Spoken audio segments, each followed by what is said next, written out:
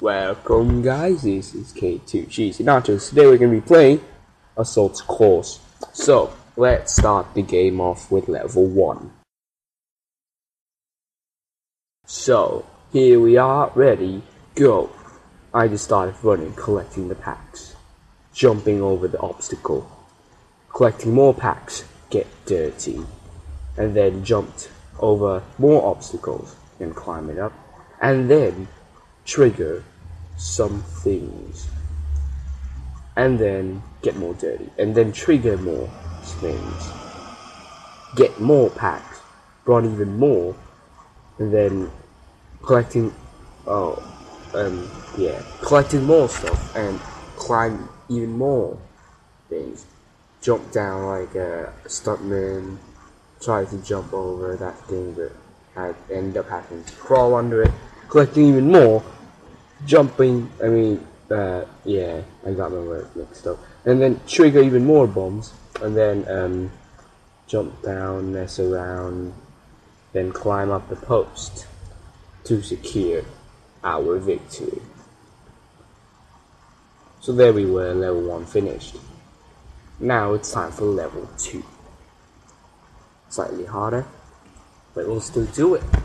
Well, let's see. Well, and uh, since I uh, don't really, I think it's a bit boring, we'll just change it slightly. Instead, we're gonna go two times faster. Yes.